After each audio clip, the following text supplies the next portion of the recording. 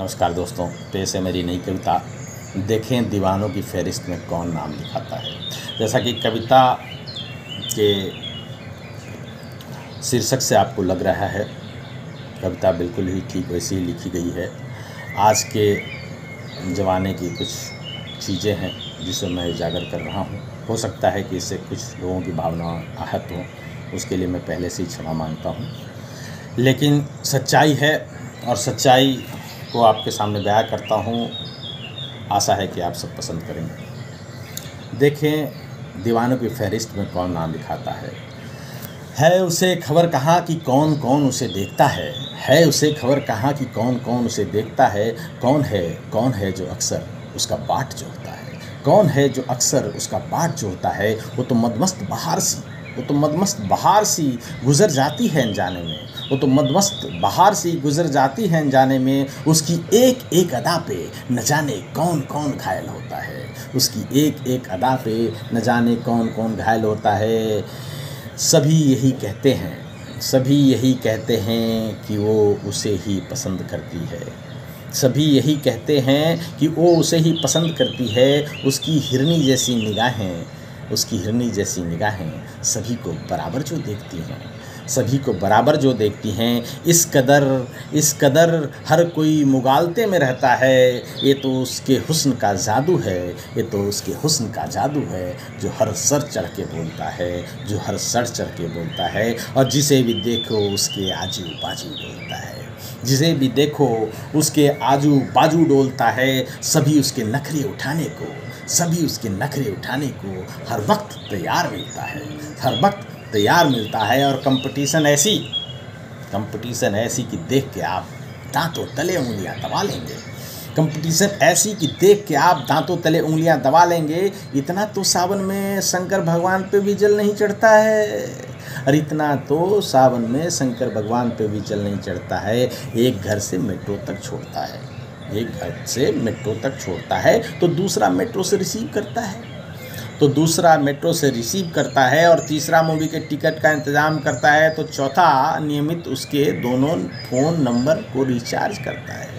तो चौथा नियमित उसके दोनों नंबर रिचार्ज करता है और कुछ हम जैसे भी हैं, कुछ हम जैसे भी हैं जो ऐसे मजनू का हिसाब किताब रखता है। कुछ हम जैसे भी हैं जो ऐसे मजनू का हिसाब किताब रखता है और कुछ खुद को, कुछ खुद को बेटिंग लिस्ट में तो कुछ खुद को आर में कहता है। कुछ खुद को बेटिंग लिस्ट में तो कुछ खुद को आर में कहता है। किसी का भी टिकट कन्फर्म होता मुझे नहीं दिखता है। किसी का भी टिकट कन्फर्म होता मुझे नहीं दिखता है। और कोई मंत्रालय में तो कोई दफ्तर में जुगाड़ गिराता है। टिकट कंफर्म करने के लिए। कोई मंत्रालय में तो कोई दफ्तर में जुगाड़ भी रहता है, पर किसी की सिफारिश, किसी की सिफारिश मुझे जमता हुआ नहीं दिखता है। पर किसी की सिफारिश मुझे जमता हुआ नहीं दिखता है, और सफ़र लंबा है। सफ़र लंबा है, फिर भी गज़ब का हिम्मत सब में दिखता है। सफ़र लंबा है, फिर भी गज़ब का हिम्मत सब में दिखता है, और सब के सब लटके हैं, बामुश्किल ही उनका पाँव टिकता है। आपने देखा होगा कि बस खचाखच भरी है, ट्रेन खचाखच भरी है, फिर भी जो डेली वाले पैसेंजर होते हैं, वो लटके हुए होते हैं, एक हाथ पकड़ करके पैर टिक रहा है या नहीं टिक रहा है, किसी के पैर पे पैर चढ़ रहा है, फिर भी वो लटके हुए हैं, उनके जज्बे को भी फेल कर देते हैं ऐसे मजनू। कहते हैं सब के सब लटके हैं सब के सब लटके हैं, बामुश्किल ही उनका पाँव टिकता है, एक हाथ से हैंडल पकड़ रखा है, अब गिरेगा कि तब, अब गिरेगा कि तब। ऐसा लगता है।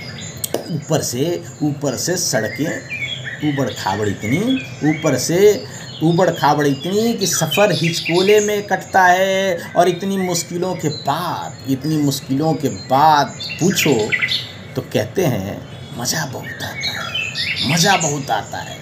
पता नहीं कौन सी मिट्टी से खुदा ने ऐसे दीवानों को बनाया है।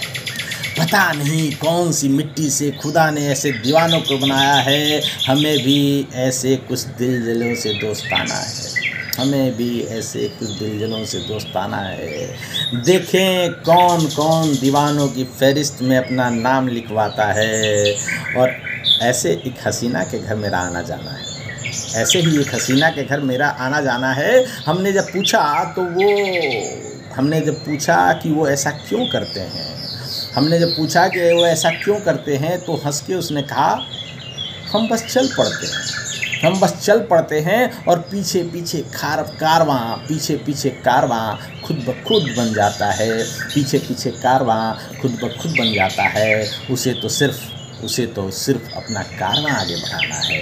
उसे तो सिर्फ़ अपना कारवां आगे बढ़ाना है। उसे फ़र्क नहीं, उसे फ़र्क नहीं कि कौन जुड़ता है। कौन जुड़ता और कौन छूट जाता है?